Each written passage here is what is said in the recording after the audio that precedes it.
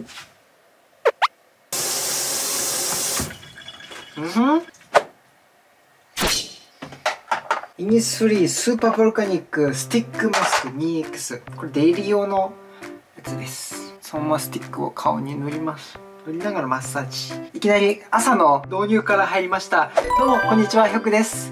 こんにちはひょくにだはい皆さんいかがお過ごしでしょうか？ちょっと待ってね。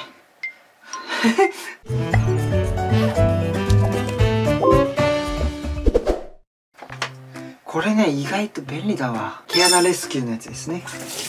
毛穴の汚れを取るのもそうですけど何より角質ケアめっちゃ優れてるこれ本当に。そしてえタイトルにもある通り私合格しました。何に合格したかというと少々お待ちください。よいしょ。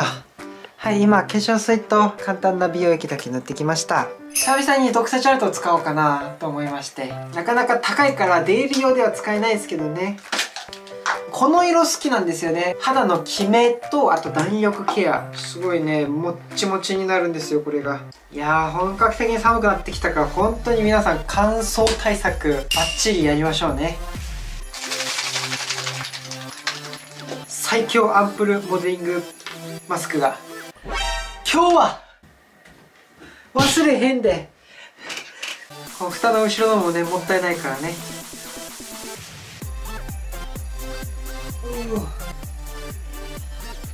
あー気持ちいいひんやり。モデリングマスクあんまり使ってない人もいらっしゃるんですけど密着度は圧倒的にモデリングマスクの方が高いですよ。自分の顔のね形に合わせて。えー、冷たい。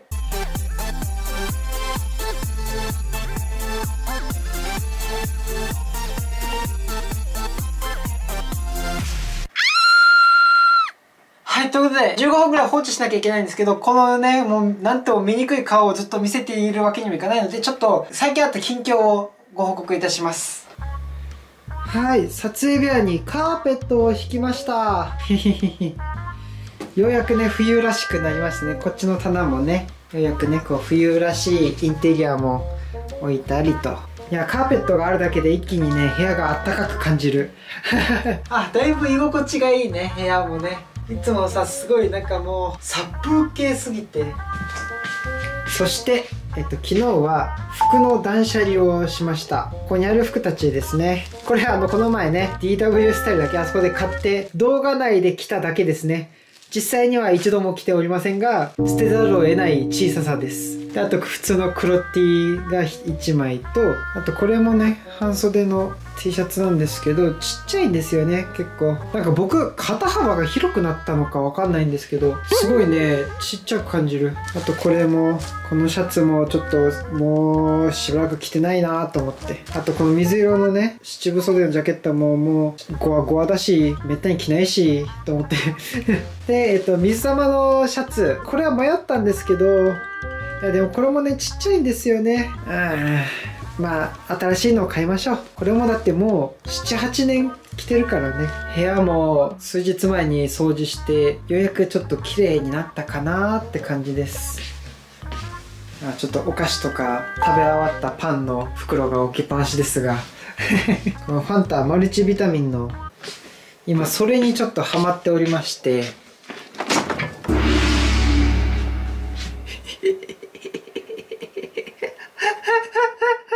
んだけあるねんってね。え下はキムチ類です。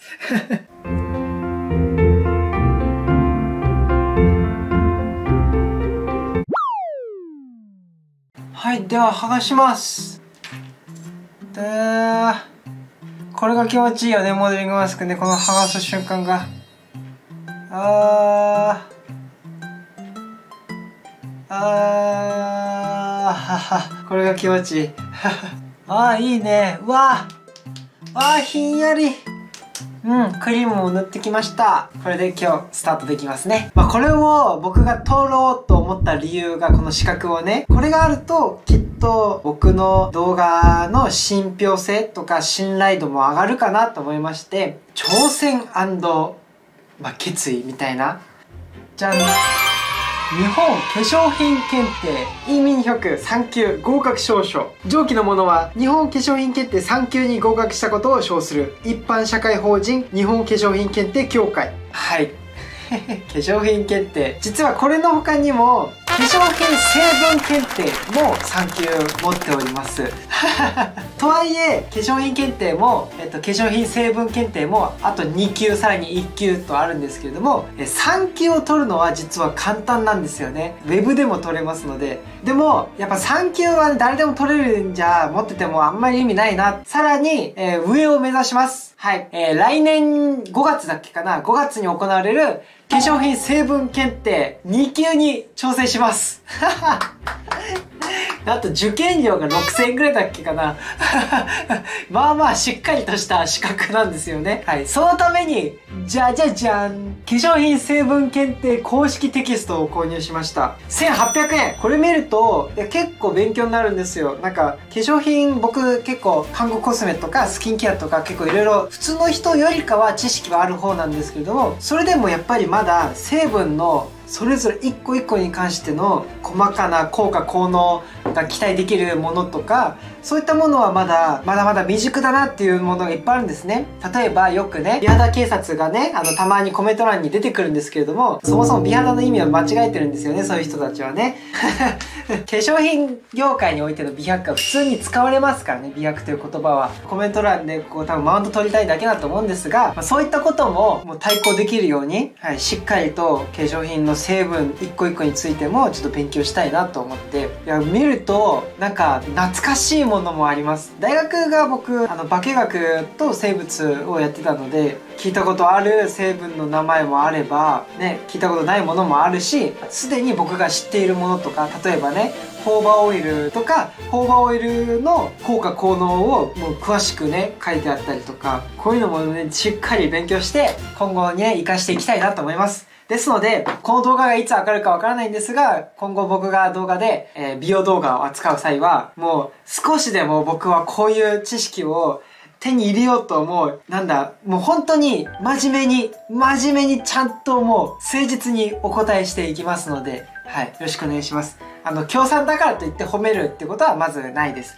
確実に言えるのは大前提に僕がいつもその協賛をする際はありがたいことなんですけれども、たくさんこう、あの、商品とか協賛で動画で紹介してくれませんかっていうのを依頼もありますし、そういった場合、必ず僕は事前に商品テストをします。はい。あ、わかりました。じゃあこれ動画にしますね。すぐにはならないです。まず一回その商品だけ送っていただいて、それを僕はこっそり2週間とか1週間とかあのテストした上で、あ、これは本当にみんなにも勧めたいなって思ったら、ようやくそこでクライアントさんと話を進めて、協賛として動画に出てるんです。なので、僕が動画を出しているのは別に、協賛だから言って言って褒めてるわけじゃなく、本当に僕が使ってみて、これはみんなにも勧めたいって思ったから動画にしてるので、ご安心ください。なんなら僕断ってる協賛も今結構あるぐらいなんですね。この前も動画にね、協賛が多いからどれが本当におすすめかわからないっていうコメントがあったんですけど、協賛をするってことは本当におすすめじゃなきゃしません。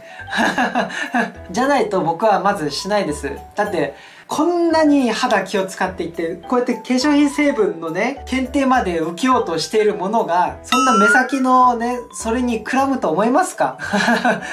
ですので、僕が動画で紹介しているもので、協賛ありきのものだとしても、ご安心ください。本当に本音で話しておりますので。ということで、えー、今回はね、日本化粧品検定に合格したというご報告の動画でございました。そして来年5月には、化粧品成分検定2級にも合格したいなと思います。現在、保育が持っている資格は、えー、フォークリフト 免許証と、あと QC 検定ですね。品質管理の検定。まあ、これは前職ですね。の時に取ったもので、あとはこの日本化粧品検定3級、化粧品成分検定3級を持っております。あと運転免許証、あと英検準2級、高校生の時に取った。あと漢検3級、中学生ぐらいの時に取った。それぐらいです。はい。